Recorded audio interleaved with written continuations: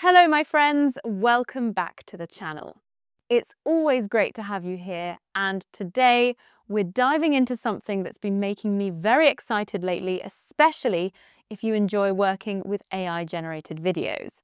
Today's topic is a fascinating new model called Wan Video Phantom. This tool opens up a fresh way to create videos by combining images of characters, backgrounds or objects and doing it all in a way that feels smooth and natural.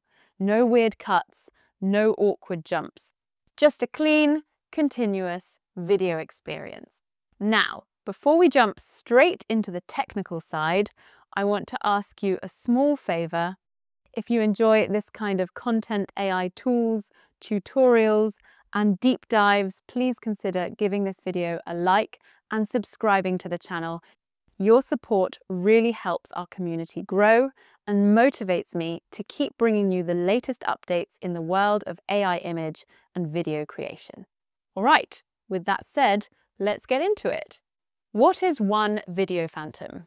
Wan Video Phantom is a video generation model that lets you upload up to four different images and then it crafts a full video using all of them together. Whether it's characters, scenes, or objects, you can feed multiple visual elements into the process, and the model works to connect them into a coherent visual story. At the heart of this new workflow is a key feature, the Wan Video Phantom Embeds node. This special node allows you to inject up to four different types of latents, phantom latents, directly into the video generation process. You can customize how many frames each image will influence, adjust the CFG scale, how closely it follows your prompt, and even control the percentage of the video where each image has the most impact. How the workflow works, this new workflow created by Kijai builds on a basic Wan video structure, but introduces an important twist. Instead of just starting from random noise, you can input images directly to guide the generation.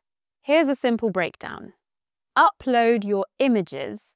You can choose up to four images you want to include in the video. Resize and prepare. The workflow will automatically resize your images and add padding, usually a white or black background, to make them easier to work with. Encode images to latents. After padding, the images are encoded into latents compressed forms that the AI can work with more efficiently. Phantom embedding. These latents are then passed to the Wan Video Phantom Embeds node, where you define their influence over the video timeline, like setting how much an image affects the beginning versus the end of the clip. Sampler magic. The latents move into the Wan Video Sampler, where the actual frames of the video are generated.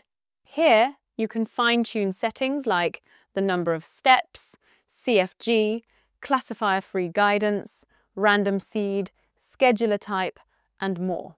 Decode and output. Finally, the generated latent video is decoded back into a viewable video file ready for you to preview and share.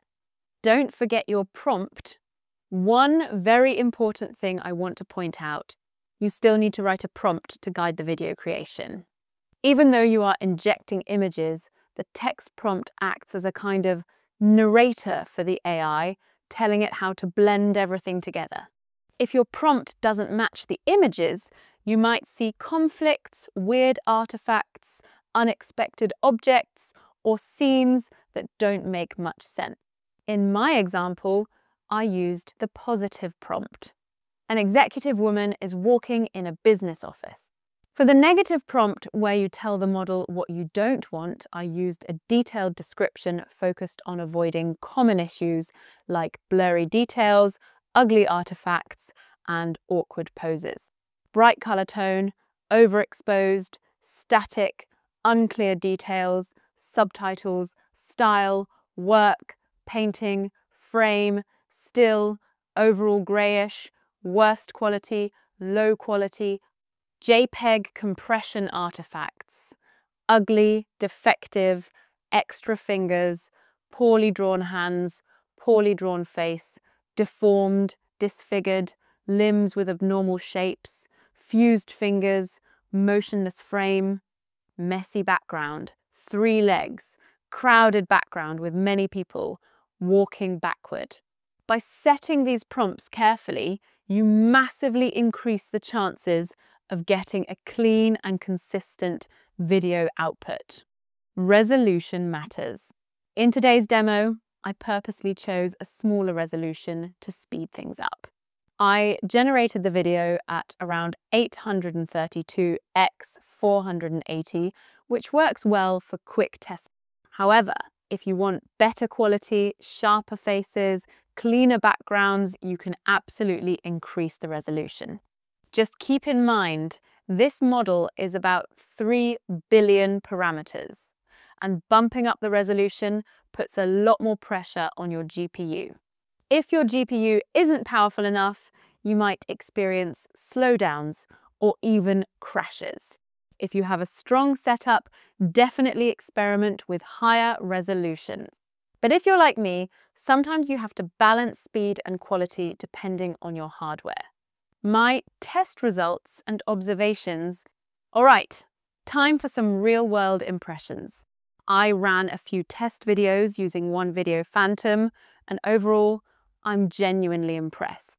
The model is very creative. It adds contextual elements naturally, like showing two women walking through a business office even though I only fed one main character. But, and here's the honest part, the face quality wasn't perfect.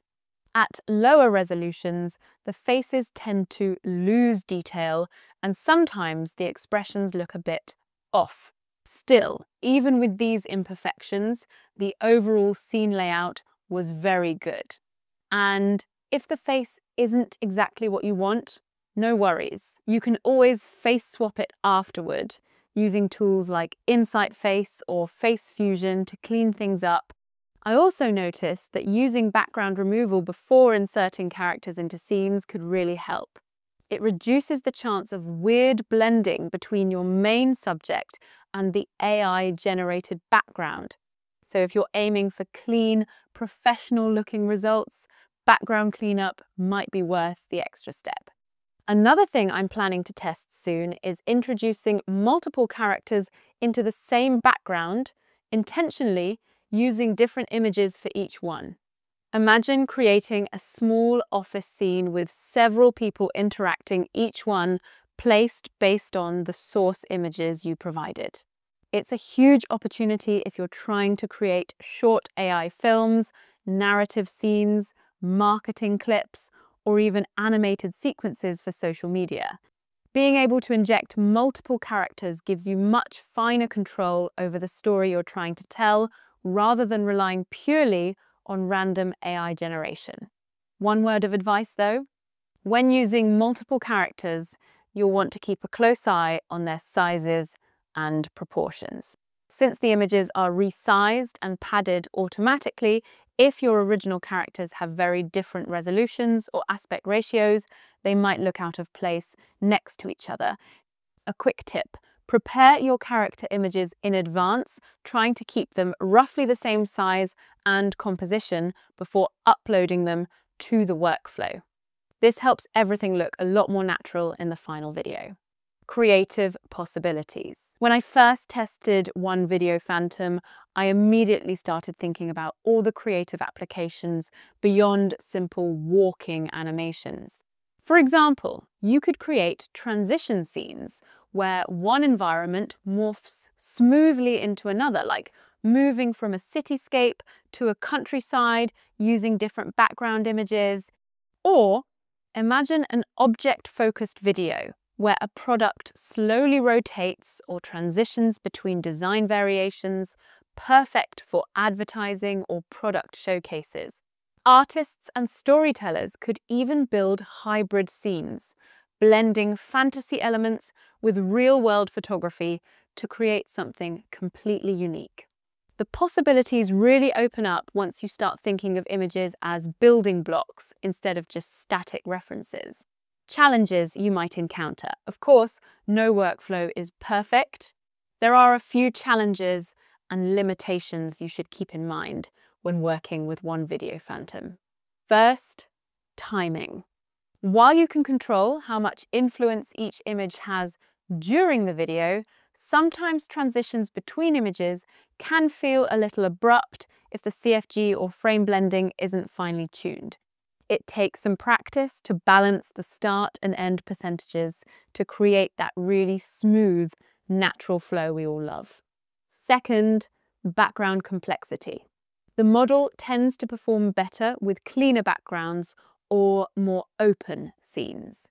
Busy, detailed backgrounds might sometimes confuse the model, leading to artifacts or messy compositions. If your goal is maximum clarity, starting with simple backgrounds or isolating your subject before adding a background later can really help. Third, generation time. Because you're working with multiple latents and relatively complex prompts, video generation isn't instant. Depending on your resolution and hardware, a short clip could still take several minutes or longer to process. So be patient, sometimes the best results come after a bit of fine tuning and waiting. Tips for better results. After playing around with it for a while, here are a few extra tips I can share to help you get better results. Use consistent lighting across your input images. Try to avoid mixing night shots with sunny ones, unless you want a dramatic transition. Be mindful of the prompt details. A clear, descriptive prompt that matches your input images will almost always produce better coherence. Experiment with seed locking. Locking the seed number helps you replicate your results if you want to tweak small details without regenerating everything from scratch. Test different frame counts. Higher frame counts make the video longer and transitions smoother, but they also increase rendering time. Find a balance based on your project's needs. Final thoughts overall, I'm really excited about what Wan Video Phantom brings to the table. It's not just another way to generate videos, it's a new tool for building stories visually in a way that's a lot more intuitive than before. You're not just relying on randomness, you're actively directing your AI output by choosing the characters, backgrounds, and compositions that matter to you. If you found this walkthrough helpful, it would mean a lot if you could hit the like button, subscribe if you haven't yet, and maybe even share this video with a friend who's into AI creativity. Your feedback and support really do make all the difference in growing this space and inspiring new ideas. Thanks again for hanging out with me today. I'll see you in the next video, and until then, stay creative, stay curious, and keep building amazing things.